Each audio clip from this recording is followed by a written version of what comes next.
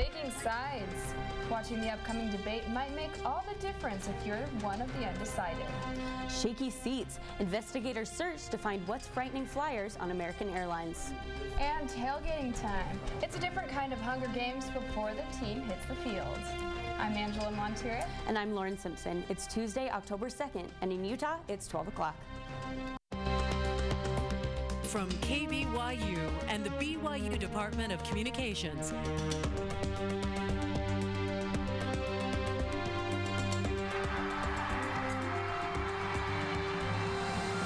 This is the award-winning 11 News at noon. The first round of presidential debates starts tomorrow night, and while some voters are rooting on their favorites, others will decide who to cast their vote for after the debates. 11 News reporter Elisa Kleinman explains how big of an impact these debates could have. This Wednesday, President Obama and Governor Mitt Romney will face off in their first debate.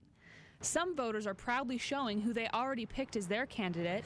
So it's a combination for me of President Obama being so being so great in his policies, in my opinion, and also that he's much better than the alternative. But experts are saying if either Obama or Romney make a mistake explaining policy, it could end up costing them the coveted spot in the White House. If either one of them makes that sort of a mistake, then I think that that, that could actually change some people's minds. While some people who come here to register to vote already know who they'll vote for, a recent poll showed that 20% of people could still change their mind. In an ABC News Washington Post poll, one fifth of voters supporting either Romney or Obama describe themselves as persuadable, meaning they don't support their candidate 100%. Independent is like how I'm going into this election. I just kind of go into anything open minded, just trying to see like both sides. Persuadable voters like Reisner could be very influential in swing states like Ohio and Florida. It's those people who haven't made up their mind who have the ability to tip the outcome one way or the other. In Provo, Elisa Kleinman, 11 News.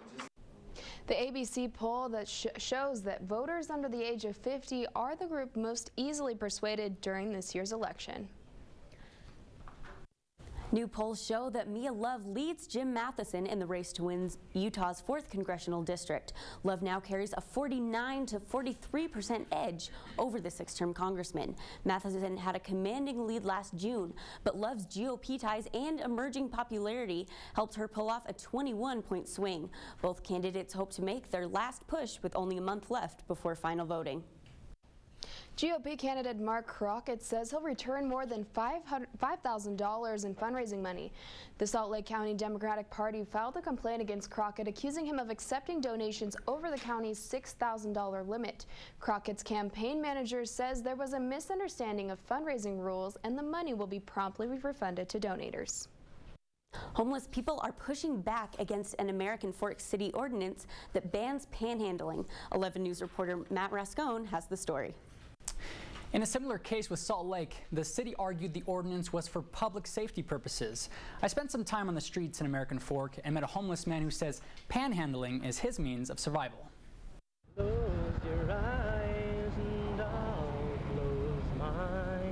Darren Curtis spends his entire day outside, singing, Good night. walking, and standing at this corner. I'm just trying to get a few bucks so I can get a hotel room. Homeless, jobless, and struggling to get by. A small apple, some water. That's all Curtis has eaten since yesterday. Right. And once in a while, you know, somebody will drop you a sandwich or something. For Curtis, this is more a piece of cardboard. It's his way of living. But American Fork doesn't support it. I've got tickets before. A city ordinance bans panhandling, which makes it illegal for Curtis to hold up his cardboard plea. It allows complete discretion on the part of police officers to simply use it to target people whose speech they don't like. Golan is representing homeless man Steve Evans, who is suing the city. The hope is that he can go back and do what he does to survive. Fortunately for Evans and Curtis, a federal judge named a similar ordinance unconstitutional in March. I'm not going up to people and personally asking them, hey, can I get a dollar? Back on his corner, Curtis does what he can to survive. I stand here, I hold the sign, they can give me a buck or they can't or they don't. American Fork City Attorney is still reviewing the case and had no comment, but the city agreed to place a temporary restraining order on the ordinance, which means it won't be enforced uh, while the case is pending. So for now, people like Curtis can continue their way of living. Thanks, Matt. And a two-month a two-month-old infant is not expected to survive after abuse from her great aunt. Medina Osman is charged with two counts of second-degree felony child abuse. Officials say the baby suffered brain hemorrhaging and rib fractures from violent force. She's currently on life support at the Primary Children's Medical Center. When 11 News at noon returns. Water wreckage. A crash in Hong Kong waters has officials scrambling to rescue hundreds from the waves. And pumpkin Search and rescue teams worked for more than six hours last night to free base jumper hanging by his parachute in Provo Canyon. The jumper's chute snagged on the side of a cliff, leaving the 26-year-old dangling on a 200-foot ledge near the mouth of the canyon. Rescuers released the man from his chute and lowered him to an ambulance below. Doctors say the man suffered minor injuries but is in good condition. Two fishermen are injured after a shrimp boat caught fire on the Great Salt Lake. The fire started when the two men were making repairs to their boat offshore from Stansbury Island. Sparks from the work ignited gas fumes and surrounded them with flames, severely burning one of them. Authorities say the other man suffered minor burns and was released at the scene.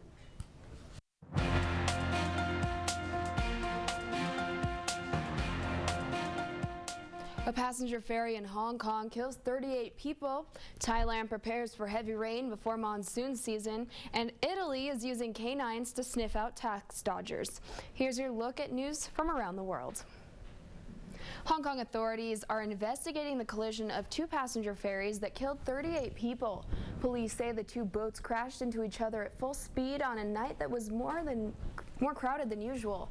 Government officials managed to pull 123 people from the water, and police say they will continue to search for missing passengers. They're not sure what caused the crash. The threat of monsoon season in Bangkok has made officials prepare for extreme flooding. Experts say they expect swamped roads from heavy rain this weekend, so volunteers are helping to clear canals and unblock sewers. Officials say they hope to prevent a repeat of last year's flooding. Italy's finance police are using canines to sniff for drugs not to sniff for drugs or explosives, but cash at airports. Officials say the four-legged friends search for euros, dollars, pounds, and rubles in the bags of traveling passengers. The governments say the dogs will prevent smuggling and tax evasion. And that's your look at news from around the world. Lauren? Thanks, Angela. Drivers always have to keep an eye out for deer this time of year, and now it looks like skateboarders might have to as well. A 17-year-old from Colorado hit a deer going 40 miles an hour on his skateboard while zooming down Lookout Mountain. Ironically, the downhill race he participated in is nicknamed Blood Spill. The deer broke his fall, and besides some road rash, the skater and the deer were both okay. Flying can be a hassle, but one thing you can usually count on is a secure seat. Unfortunately, that wasn't the case for some American Airlines passengers. Two Florida-bound flights were grounded last week for loose seats. The forecast is cloudy for one of the nation's largest employers as American Airlines continues to struggle after announcing thousands of job cuts last month in an attempt to avoid bankruptcy. The recent loose seat problem is just the latest flap that has passengers fed up have any options, unfortunately, you know, and it's, fly, right? it, it sucks because you have to pay so much money for these flights. The airline is conducting an internal investigation to figure out what went wrong with these seats. Ten planes are currently under inspection. And Ariel, the air is feeling crisp and the leaves are changing colors, but it still doesn't feel like fall. Do you think we'll get any autumn weather soon? Ho we're in for a big surprise tomorrow. Might need to bundle up a little and put on those coats and scarves, but your 11 News weather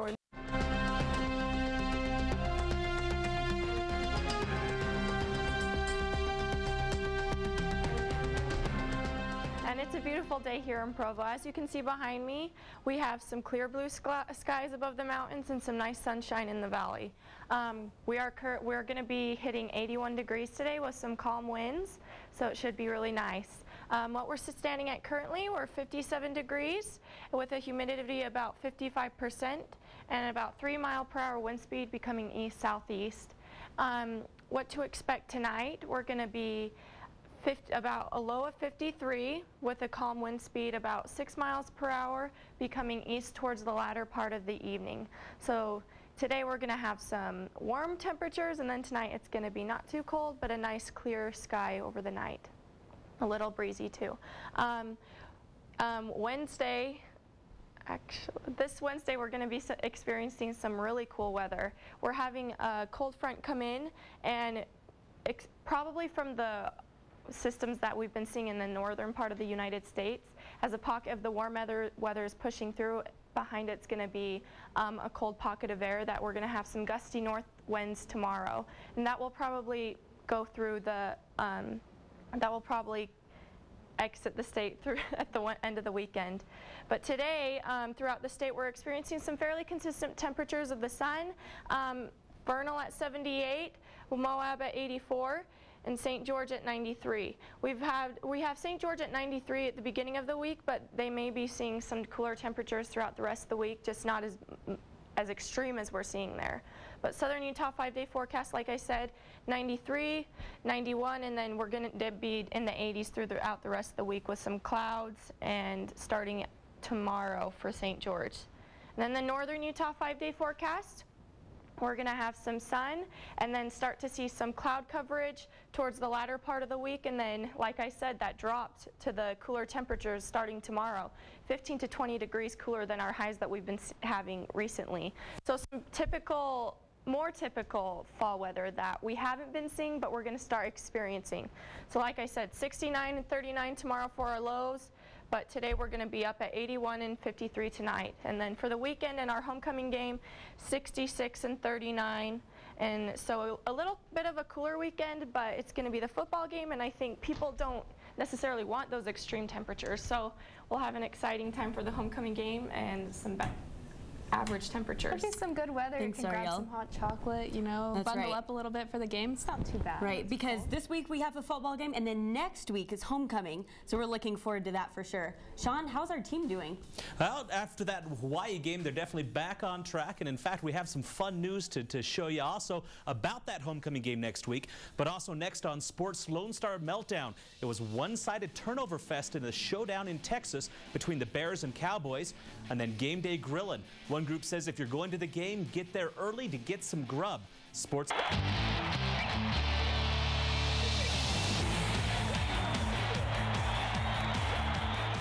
BYU football finally has a winning record, but they still can't match the success of three other fall teams that are all in the top 25. Men's cross country is still the top-ranked Cougar squad, holding steady at number three after winning the Bill Dellinger Invitational over the weekend. And women's soccer isn't far behind, jumping up to number six. And they open conference play this Friday against Santa Clara. And then women's volleyball is undefeated no more, dropping to 16th after falling for the first time this season to St. Mary's. And plans for next week's homecoming football game against number 14 Oregon State have been finalized. The matchup between the Cougars and Beavers will kick off at 1:30 p.m. and the game will air regionally on ABC. BYU also announced that the game will be a blackout as fans are encouraged to wear black and then the Cougars will debut new black uniforms as well. But before the beginning of any football game, fans are lighting up the grills before heading to the field. 11 Sports reporter Jason Ludlow has the story. I visited a group of local and loyal BYU fans who showed me how they are trying to create a true tailgating culture here at BYU to improve the game day experience. Food, friends, and more food. These are the key elements to the college football tailgate. Fans across the country unite hours before kickoff to sizzle some grub and have a good time. Even for visiting fans, it's an essential part of the game day experience. Uh, I think everybody should tailgate who comes to the games. Family and friends, and just having fun and enjoying each other, and then going to enjoy the game. But limited land and parking problems make tailgating at BYU difficult. Brian Mace and members of CougarCenter.net started a movement to find a solution. They use podcasts and Twitter to reach out to BYU administration to find a place to accommodate grills, tents, and RVs. Uh, we set up a few meetings, uh, you know, just gave our, our input, let them know what, what works, you know, here at the ground level so they could understand, you know, what we need to make it, uh, you know, positive and work out for everybody involved. Their persistence paid off, and BYU opened Lot 54 just two blocks north of the stadium for RVs and overnight tailgating this season. May says they are building a true tailgating culture at BYU. Grab yourself a tent, a cooler, some chairs, and come join us. It's always a good time over here. Everybody's welcome. If you're hungry to tailgate, the Cougar Center crew will be up and running Thursday night in Lot 54 before BYU showdown with Utah State on Friday. Thanks, Jason. And it was a Monday night battle between two inconsistent quarterbacks as the Bears and Cowboys squared off in the Lone Star State, and one of them had a game he'd rather forget. The long night started for Tony Romo late in the second quarter as he throws a perfect pass right to Bears cornerback Charles Tillman, who took it to the house, and the Bears went up 10 zip. And things got even worse in the second half as Romo gets hit right here in the back and you'll see the ball pop straight to linebacker Lance Briggs. It was Romo's third pick of the night, his second pick six, and he turned around and throw two more to the Bears for a total of five interceptions as the Bears beat the boys 34 to 18. And Indianapolis Colts first Indianapolis Colts first year head coach Chuck Pagano will miss at least the next six to eight weeks as he undergoes treatment for leukemia. Pagano felt extreme fatigue since training camp, and a checkup this last week led to the diagnosis. Offensive coordinator Bruce Arians will take over coaching duties while Pagano is out. And with two days and with two days left in the MLB regular season, the playoff picture is starting to clear up, but there's still a few races that could go down to the wire. The Detroit Tigers wrapped up the AL Central with a win last night, but the other two divisions are still wide open. Baltimore trails the Yankees by one game, and Oakland is only one back of Texas. But both the Orioles and A's have clinched the two wildcard berths. And then on the NL side, there's only one race still running, as the LA Dodgers still have a shot to take the last wildcard spot away from St. Louis. The Nats, Reds, and Giants have all clinched division titles, and the Braves have that top wildcard slot as well. And you've also got some some basketball starting up within a month. In fact, the Utah Jazz opened their training camp today. Oh. That's exciting. To get ready for it. They've got some fresh faces, some new blood, so we'll see what happens as they get ready for that season. I can't wait for basketball season. I grew up playing basketball, so it's my sport for Yeah. sure. Awesome. I have to agree with you there. The Jazz are looking good. Yep. Still to come on 11 News at noon. Gigantic jack-o'-lantern. This pumpkin is a dream come true for any Halloween carver. We'll be right back with this farmer's pride and joy.